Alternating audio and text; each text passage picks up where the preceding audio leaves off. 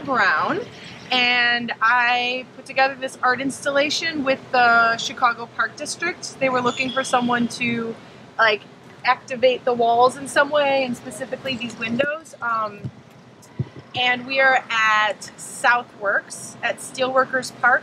Um, and so the project that I've done involves the geology of Southworks and specifically the Anthropocene geology, so the man-made uh, part of the site. And since the site is mostly slag dumped into the lake from the steelworks from U.S. Steel that was here, um, a lot of the rocks that I've collected and um, assembled here are slag or other things that went into the steelmaking process or came out of it. Um, and so I've got these bins here kind of open for people to touch and look at and do whatever they want with.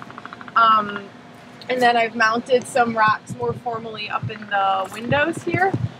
Uh, and these are all things that I found on the site or on the lakefront. Um, and I also, because this site is human made, uh, and I make and I wanted to acknowledge the human geology of the site. I wanted to include the human history, um, and so I've talked a lot with people from the area and experts in various fields to kind of put together um, some information about how this place was formed and what it kind of means now. Um, so there's also a text that will be offered um, for people to take away. Yeah, um, so yeah, there's a lot more to say, but that's the that's the general idea. The baskets that you have here on display, yeah. how did you go about accumulating the material that you in there? What were in you the doing? baskets?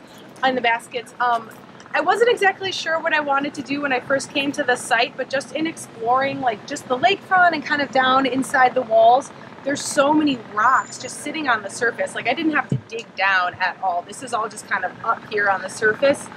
Um, and my a lot of my art and my projects have to do with kind of like collecting and assembling things.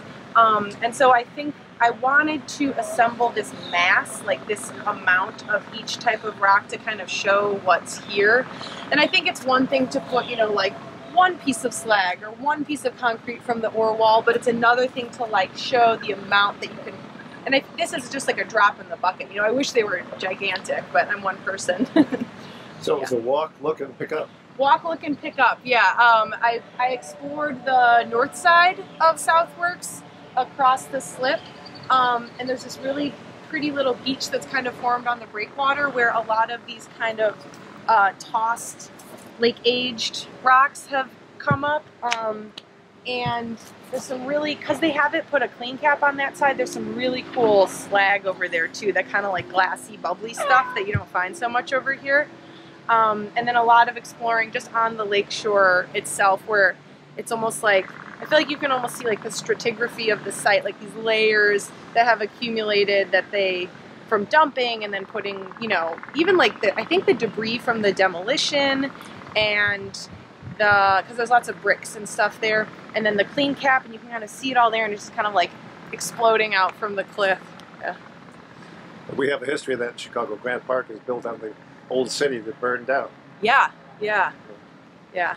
And in a, in my research, I found some great. I spoke with a geologist, George Roadcap, at the um, ISGS, so it's a uh, hydro uh, hydrology survey, and he pointed me towards some really great maps that show specifically the Calumet region exactly where the made land is and what it's made of, when it was made, and what thickness it's at. So there's like some really great maps. Yeah.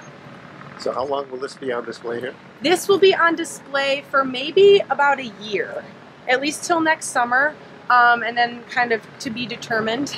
and I'm hoping that we can do some programming around it. I've spoken with possibly the uh, Southeast Historical Museum about doing like a pop-up with some of their steelmaking artifacts if they're interested. Um, and maybe even doing like a screening on one of the walls anytime anyone wants to come out here, I will show up. I'm happy to be here.